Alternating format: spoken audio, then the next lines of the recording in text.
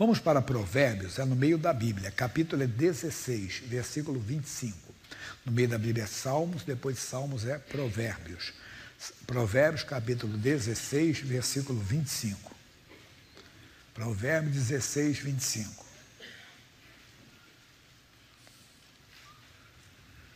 Diz: Há caminho que parece direito ao homem, mas o fim dele são os caminhos da morte.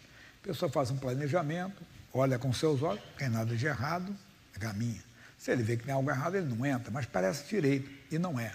Claro que eu não vou repetir agora, mas você, você viu, por exemplo, na Bíblia, no livro de Gênesis, no capítulo 11, fala da Torre de Babel. O que, que os homens pensaram? Olha, nós não podemos espalhar a terra é muito grande, nós vamos acabar nos perdendo e vamos nos separar. Então, o que vamos fazer? Construir uma torre né, e levar o pensamento dele, tocar até o céu. Parecia direito, mas não era aquilo, aquilo não era plano de Deus. Não deu certo para eles. Deus veio confundir a língua, as línguas, e eles se separaram. Então, há caminho que ao homem parece direito. Falamos do caso de Raquel. Ela queria, tinha um filho, insistiu de ter o outro. Não é errado ter filho, mas Deus conhece a estrutura da pessoa. Ela teve um filho. Não é errado querer ter um filho. Mas sabe por que ela quis ter um filho?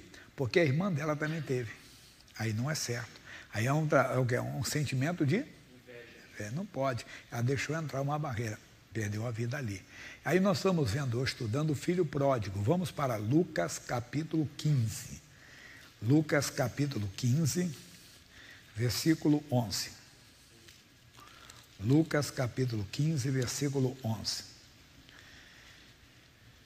E disse: Um certo homem tinha dois filhos. O mais moço deles disse ao pai: Pai, dá-me a parte da fazenda que me pertence. E ele repartiu por eles a fazenda. E poucos dias depois, o filho mais novo, ajuntando tudo, partiu para uma terra longínqua, uma terra distante. E ali desperdiçou a sua fazenda, vivendo dissolutamente, irresponsavelmente. O irmão dele, nós dando para chegar lá, vamos chegar, fala que ele gastou com as meretrizes, mas não vou entrar no mérito agora não. Vou ficar aqui assim. E havendo ele gastado tudo, houve fome naquela terra e começou a padecer necessidade. E foi, e chegou-se a um dos cidadãos daquela terra, o qual mandou para os seus campos apacentar porcos. Naquela época, entenda, a carne de porco não era nem consumida em Israel. Por favor, deixo bem claro que não é para hoje. Se você gosta de um torresmo, também gosta. Tá bom?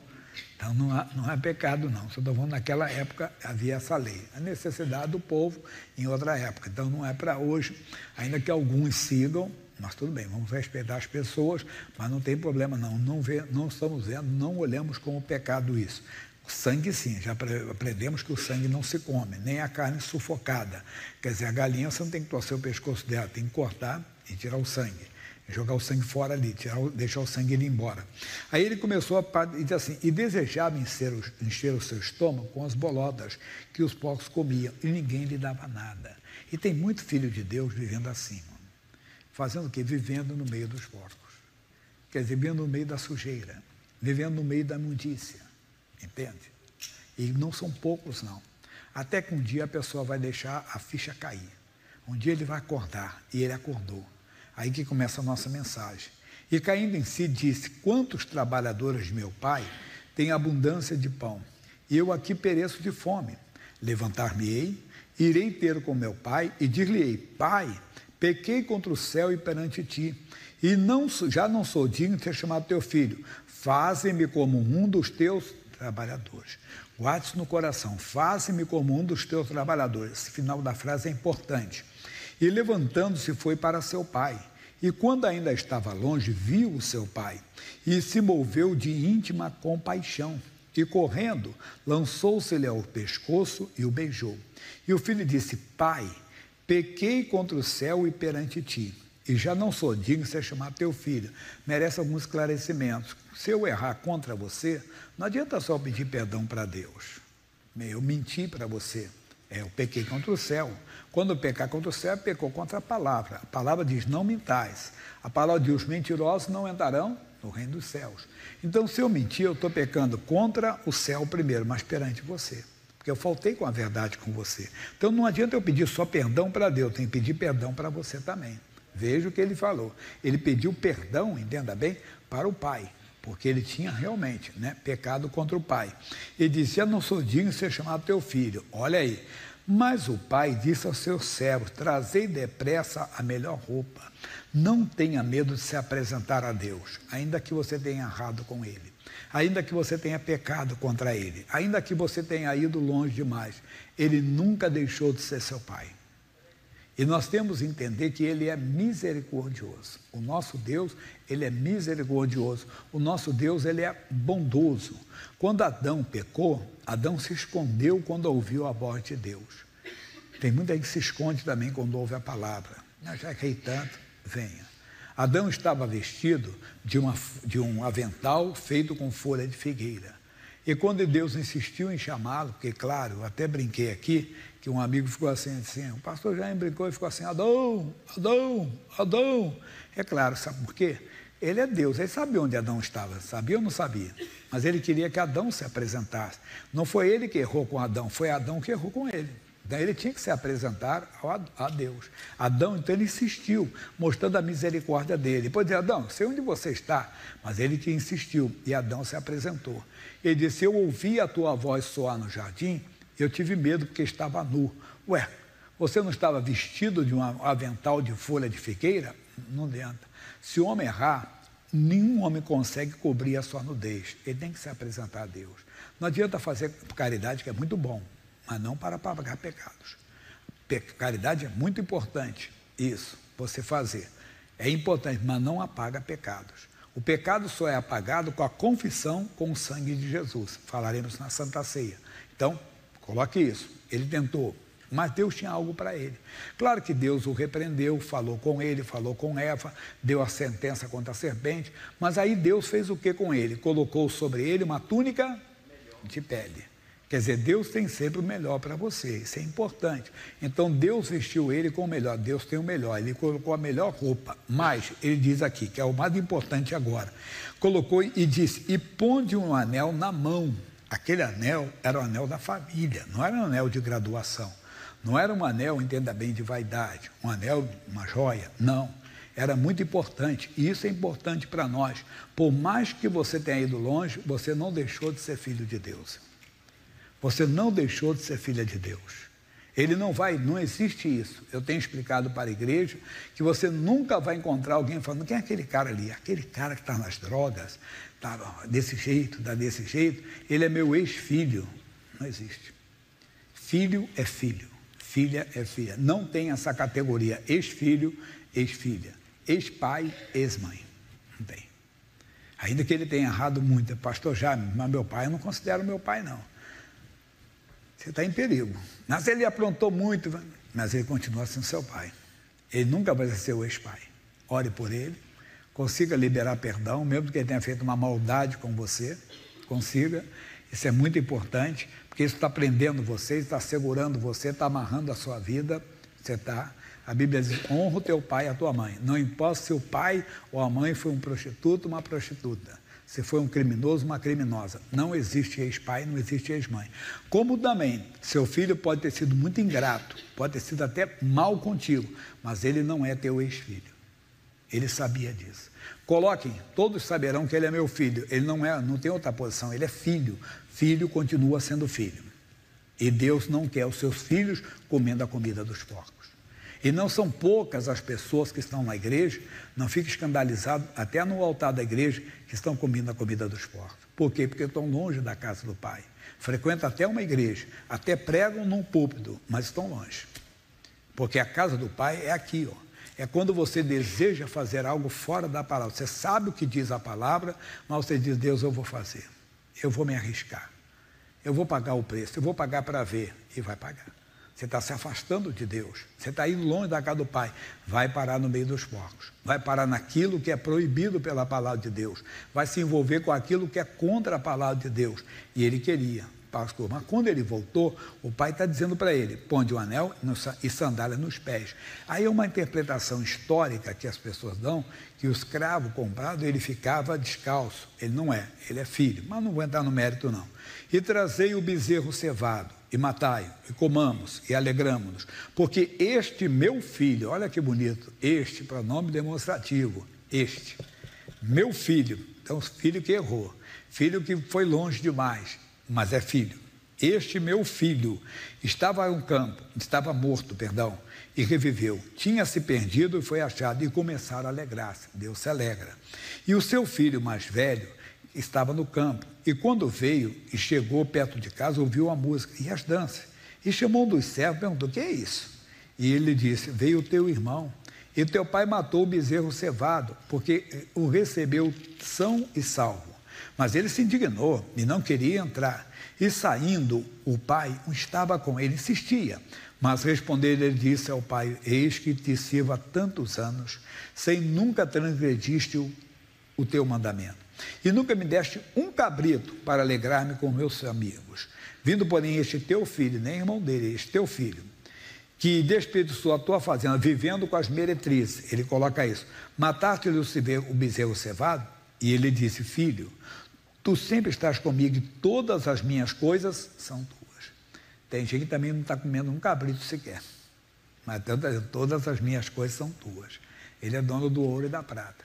Quando eu falo isso, já vem um engraçadinho e fala, ah, eles pregam a teologia da prosperidade. Não, primeiro que eu não vou pregar a teologia da miséria, né? Mas não é isso. Isso aí, alguém que cunhou, pessoal, essa, essa frase, essa teologia da prosperidade, e uma, desculpa a expressão, muito bobinhos, vão, não, porque só pregam isso. Né? Você que acompanha, eu prego sobre prosperidade aqui muito? Que quase não prego, quase não falo, entenda? Quase não falo, mas não é errado, não. Mas quase não cito prosperidade. Mas o pessoal cunhou isso e todo mundo, qualquer coisinha. Não, eles pregam pelo contrário. Eu tenho dito o seguinte: se para você colocar um dinheiro no bolso, você vai perder o céu, fica duro mesmo, porque duro você entra no céu, com dinheiro sujo não entra. Sem dinheiro algum você entra no céu, mas com dinheiro sujo você não, não é. Duro você entra no céu, mas sem, é, com dinheiro sujo você não entra. Então, desperta para isso. Não existe de maneira alguma. Para com isso. Mas ele está dizendo, ah, você não comeu porque não quis. Quer dizer, nós não temos porque não buscamos como deveríamos de buscar.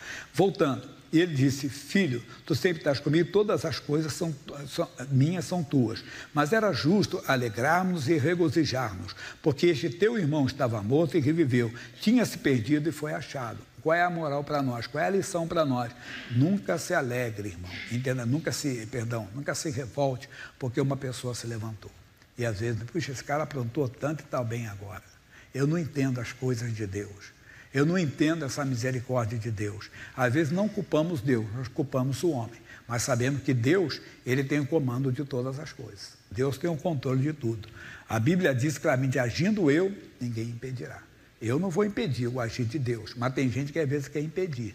Não, esse cara aprontou tanto, aprontou, mas se levantou. Você já ouviu falar de Manassés?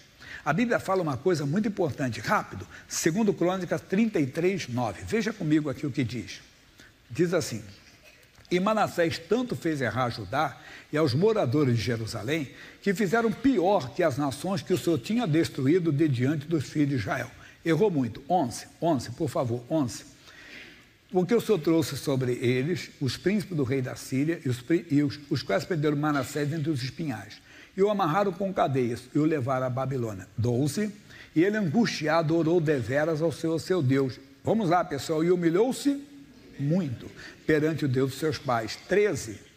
E ele fez oração e Deus se aplacou para com ele e ouviu a sua súplica e o tornou a trazer a Jerusalém e ao seu reino. Então reconheceu Manassés que o Senhor é Deus. Quer dizer, ele errou muito, mas se humilhou muito. Por isso Deus restituiu o reino. Tem gente que não fez o que o Manassés fez, não fez o que o filho pródigo fez aqui, entenda bem, mas não se humilha diante de Deus. E quando vê alguém se levantando, não entende. Eu não entendo por que essas coisas acontecem, porque a misericórdia de Deus é grande. Que a misericórdia de Deus está acima da nossa compreensão, porque o amor de Deus excede todo o nosso entendimento. Mas deixa eu citar uma coisa que não é boa. Que é isso, pastor Jair? É o livro de Mateus, capítulo 8. Rapidinho para você. Porque o título de filho de Deus não leva você para o céu. Não, não. Olha o que ele vai dizer. Isso é o versículo 11. Mas eu vos digo que muitos virão do Oriente e do Ocidente e assentar-se-ão à mesa com Abraão, Isaac e Jacó no reino dos céus. E os filhos do reino serão lançados nas trevas exteriores. Não estavam só dos filhos de Israel aqui, filhos do reino. O reino está com E maiúsculo aqui. A pessoa aceitou Jesus e ela acha que a hipergraça está sobre ela. Que o que ela fizer de errado não há mais condenação. Até cita a Bíblia. Romanos 8,1: não há condenação para os que estão, mas se a pessoa não está em Cristo. Que não andam segundo a carne, mas segundo o Espírito. Então, você pode ser filho, mas se você, você não vai deixar de ser filho, o pai vai esperar por você até o último momento da sua vida. Mas se você não voltar, no juízo final você vai para as trevas exteriores. Não deve, mas eu era filho de Deus, era, mas foi, fora, foi para fora da casa do pai, se afastou e não voltou, tem que voltar. Isso é sério, mas eu tenho que falar isso. Não pense que título de filho de Deus garantiu você no céu. Não. Quem perseverar, até o fim será salvo. É o livro do profeta Oséias, no capítulo 4, versículo 6, que eu comecei no outro culto. Oséias, depois do Daniel, é fácil de achar. O versículo é bem conhecido nosso. Mas tem detalhes aqui que temos que explicar. Ele diz assim: O meu povo foi destruído porque lhe faltou conhecimento. Deus não falou o povo idólatra, o povo ateu, o povo feiticeiro. Não, disse o meu povo pessoas que frequentam a igreja, pessoas que estão na presença de Deus, mas são destruídas por falta de conhecimento. Então, por isso que nem sempre, entenda, é um pecado, a causa daquele mal, às vezes é falta de conhecimento. Porém, o pior está agora, porque tu rejeitaste o conhecimento e a pessoa vem rejeita. Ouve a palavra, não, não é desse jeito. Ou procura nem querer ouvir a palavra, nem procura saber o que diz a palavra de Deus. O missionário pregou essa semana João 14, 21. Aquele que tem os meus mandamentos e os guarda. Você não pode guardar o que não tem. Chega o final do mês, dinheiro acabou. Você conseguiu guardar? Não. Como é que você vai guardar se você não tem? Não é verdade? Então eu tenho que buscar aqui, na palavra de Deus, o conhecimento. E eu não posso rejeitar o conhecimento. Eu tenho que pegar e, e colocar dentro do meu coração. Deus, eu quero essa palavra comigo. Aí ele diz: para que, porque tu rejeitaste o conhecimento, também eu te rejeitarei, misericórdia, para que não seja sacerdote diante de mim. Visto que te esqueceste do teu Deus, também eu me esquecerei dos teus filhos. Nós vamos para o Novo Testamento. O que, que nós vamos fazer? Na segunda carta de Pedro, o padre Pedro vai falar sobre isso, sobre o conhecimento. E vai nos dar várias lições. Ele diz, segunda de Pedro, capítulo 1, versículos 1, 2, 3, 4. Simão Pedro, servo e apóstolo de Jesus Cristo. Sempre é bom lembrar. O Pedro aprendeu com Jesus. Jesus disse: Aprendei de mim que sou manso e. E o Pedro aqui está sendo humilde. Ele está dizendo aqui: servo e apóstolo. Então, antes de ser apóstolo, ele era servo. Mas você não pode se intitular servo. Ele está falando aqui, por quê? Porque a palavra de Deus era guardada por ele. É aquele que deixa o pessoal falar, guardava a palavra.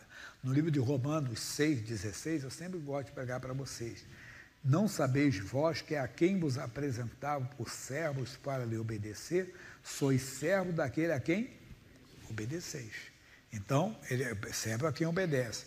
Ao, aos que conosco alcançaram fé igualmente preciosa, pela justiça do nosso Deus e Salvador Jesus Cristo. Ele estava presente lá naquele caso da figueira, quando ele que falou com Jesus, Senhor, olha a figueira que o suache. Lembra que Jesus disse? Tem de fé em Deus. Porque em verdade vos digo que qualquer que disser a este monte, ergue-te e lança te ele diz qualquer, mas tem que ter fé em Deus. Então a minha fé, a sua fé, a nossa fé é igualmente preciosa. Não, você tem mais fé do que eu. Não, Deus vai dando a medida de fé, à medida que você vai ouvindo e vai se entregando, vai colocando a palavra de Deus em prática. Já ouviu falar que é dando que se recebe. Não, não pense em oferta, não. Quanto mais você recebe a palavra e você dá a palavra, mais você recebe. A sua fé vai crescendo. Agora, tem gente que ouve. Para que você vai receber tanta fé? O que você vai fazer com tanta fé? Você tem que começar a praticar a palavra de Deus. Isso é uma lei de Deus. Quando você começa a praticar a palavra, começa a dar. Tem gente que é assim. Ele pega uma revelação de Deus e, ó, já passa para os amigos. Mas tem gente que não, oh, que bonito, aleluia, glória a Deus. Não. Reparta o pão. Aprenda a repartir o pão. Você vai ver se a sua fé não vai crescer. Então a fé é igualmente preciosa para todos. Agora, à medida que você vai colocando a sua fé em ação, você vai tendo mais de Deus ainda. Ele diz, agora que vem, graça e paz vos sejam multiplicadas. A graça é o agir de Deus, é muito mais do que o favor e merecer, porque tudo de Deus nós não merecemos. Tudo é pela graça mesmo, quer dizer, pela misericórdia. Mas a graça é a obra redentora de Jesus Cristo que ele fez a nosso favor. Nós somos salvos pela graça, né? por essa obra que Jesus Cristo fez na cruz do Calvário, não por merecimento. Aí ele diz: paz é um sentimento não como dos homens. Lá em João, capítulo 14, versículo 27, olha o que Jesus falou da paz. Olha o que ele diz para nós aqui. Ele diz assim: Deixo-vos a paz, a minha paz vos dou. Não vos la dou como o mundo a dá. Não se turbe o vosso coração, nem se atemorize. Viu o que ele deixou? Deixo-vos a paz, a minha paz vos dou. Não é a paz do mundo, é a paz que vem dele. Essa paz, o Paulo fala aos Filipenses 4,7, que ela excede todo o entendimento. Lembra disso aí? Olha o que ele diz. E a paz de Deus que excede todo o entendimento. É essa paz que ele está falando para nós que nós devemos de ter, devemos de praticar e tê-la conosco em todos os momentos, é importante. E ainda, Efésios capítulo 2, versículo 14, já, deixa eu pegar aqui que eu não coloquei não, isso. Porque Ele, o Senhor Jesus, é a nossa paz. Então não é essa paz que o mundo. Não. É um paz, é um sentimento que está dentro de você, que te dá segurança. Por isso que ela excede todo o entendimento. Eu costumo brincar assim que a pessoa diz, rapaz, no teu lugar eu estaria maluco, no teu lugar eu estaria doido. Não, Deus, ô amigo, a situação é grave realmente, mas Deus está comigo. É essa paz que está contigo. E você enfrenta um diagnóstico, enfrenta um problema financeiro, um problema familiar.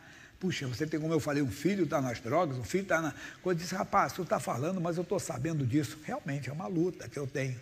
Mas eu não perdi minha paz, porque Ele é a minha paz. Eu não saí dele, eu continuo andando com Ele. Então, repetição aqui: mesmo estando em guerra, você tem paz.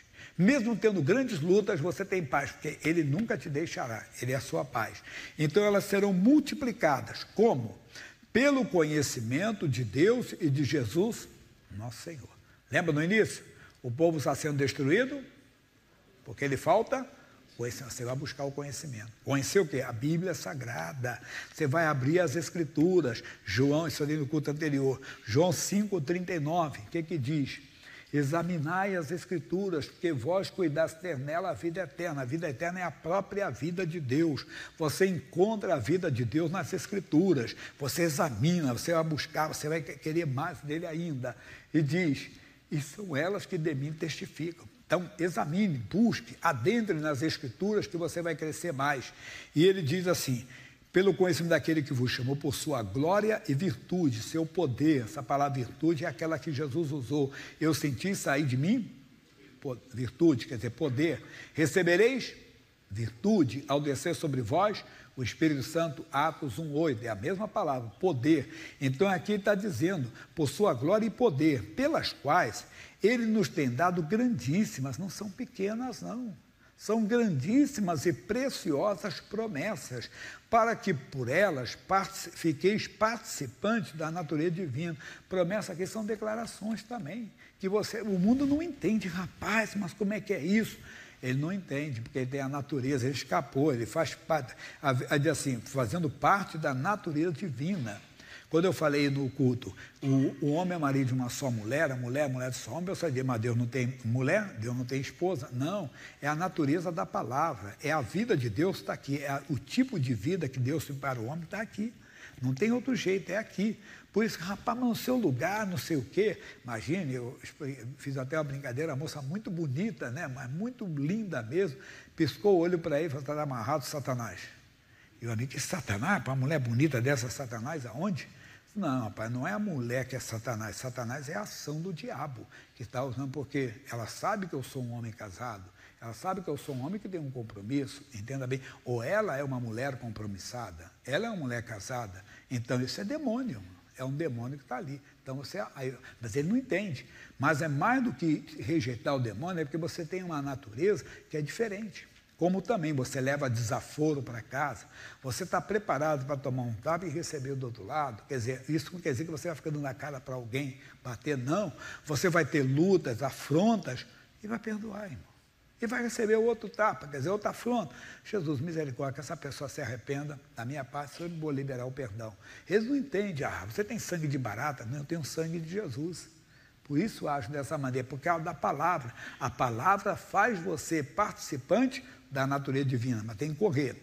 Pelas quais nos tem grandíssima promessa, para que por elas fiquei participando da natureza divina, havendo escapado da corrupção, que pela concupiscência, que é o desejo natural desenfreado do homem, é a tartaruga e o escorpião né? a velha fábula, que a tartaruga, o escorpião pede ajuda para a tartaruga, disse, não vou te dar ajuda, que você não respeita ninguém, você vai me dar uma ferroada. Disse, eu juro, eu prometo, eu estou precisando da senhora.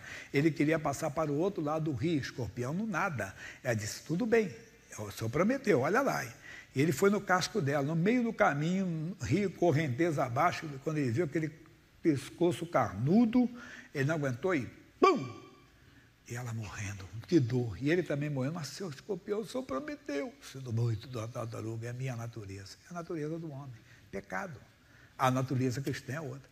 Quando você foi batizado, se você foi batizado aqui, eu sempre digo, está sendo sepultado velho homem. Você está sendo despido, despojado, entenda bem, da natureza do pecado, da carne, do corpo do pecado e da carne. É muito lindo isso. Aí ele diz, mais ainda, ele diz para nós, final agora, e pela consciência que há no mundo. E vós também, pondo nisso mesmo toda a diligência, acrescentai a fé, a virtude, e a virtude a ciência, e a ciência a temperança, domínio próprio, e a temperança a paciência, a, a paciência a piedade, a piedade a piedade, a fraternidade a fraternidade e o amor, porque se em vós houver aumentar essas coisas, vos deixarão de ser ociosos nem estéreis no conhecimento de nosso Senhor Jesus Cristo. Você viu? Já ouviu falar, você tem um arroz, tem um feijão, mas você põe os ingredientes. Você põe lá, tem gente que gosta de coentro no feijão. Já comeu coentro no feijão? Eu fiquei um tempo na Bahia. Tem baiano aqui? Baiano gosta de coentro no feijão, né? Mas eu nunca, eu não lembro, não tinha, não tinha lembrado de, na minha infância ter comido coentro no feijão. Quando eu fiquei pela igreja, eu falei, mas esse feijão aqui é diferente, né? Não sei o quê. Tinha coentro no feijão, porque eles levam, botam coentro no feijão. Vai acrescentando. Outros gostam, a minha mãe gostava de alho, né? Cebola, assim, botava bastante, só temperava naquilo ali, ficava feijão da Dona Tereza, a gente ficava cheirinho do alho, né? Então vai acrescentando. Então tem que acrescentar isso que ele está falando. Para quê? Para você, você participar das coisas de Deus. Vamos voltar onde nós começamos, pessoal, aqui, Oséias, mas agora é no capítulo 6, no versículo 3. Oséias, no capítulo 6, Oséias, que é depois do, do nosso amigo Daniel. 6, versículo 3, diz: Conheçamos e prossigamos em conhecer o Senhor. Pode ter, você pode ter 30 anos, 40 anos, 50 anos, 60 anos no Evangelho, prossiga conhecer, vai se conhecer mais. E quando chegar, você vai falar como sabe, não, não conheço nada ainda, tem que conhecer mais. Vamos conhecer a totalidade na eternidade. Uma pessoa perguntou, mas vai ter hierarquia no céu? É, tem Pai, tem Filho, tem Espírito Santo, mas a Bíblia diz que não sabemos de, ainda como havemos de ser. É muita coisa que a mente humana não conseguiria captar.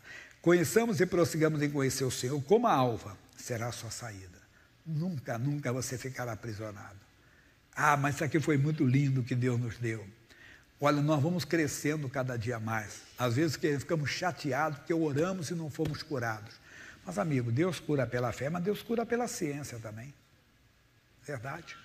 Uma moça disse, pastor Jaime, eu não entendo, eu sou de Jesus, por que, que eu tive que colocar o marca-passo? Eu disse, é, por que, que o Daniel foi para a cova dos leões? Mas Deus foi com ele.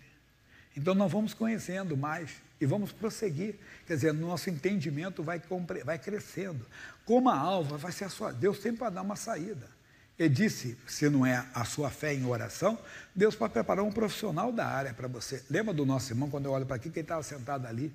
O irmão tava, ficou diabético, a diabetes descompensou, ficou fora da, do controle e ele perdeu a visão. E ele fez uma oração: Jesus, a minha fé está tão pequena, não estou conseguindo ser curado. Me dá um médico para tratar bem de mim. Deus deu uma médica. Mudou a alimentação, mudou o remédio, enxergou, voltou a enxergar. Disse, pastor, eu vivo, não, toma uns remédios, mas vivo normal. Mas onde eu estou dizendo? Sempre haverá uma saída para você. Não fique ansioso, inquieto. Pode ter certeza, Deus dá a direção. Conheçamos e prossigamos em conhecer o Senhor.